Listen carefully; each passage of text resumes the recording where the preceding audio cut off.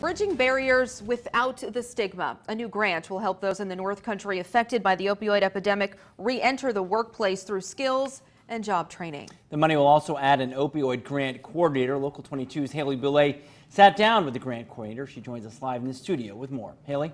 Lauren and Glenn, good evening to you. According to the National Institute on Drug Abuse, every single day, 130 people die of an opioid overdose in the United States. While recovery is possible for many who are struggling to combat addiction, sobriety and re-entering the workforce can be a challenging road. But that's where Kate Smith comes in. She was hired as the opioid grant coordinator, and she focuses on helping folks looking to re-enter the workforce in three specific areas. Career services like helping with resume writing, training services like on-the-job training or work-related schooling, schooling, and support services.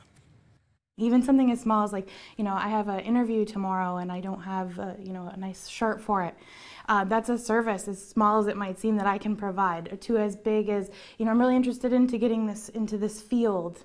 Is there something that you can do for me to help with training?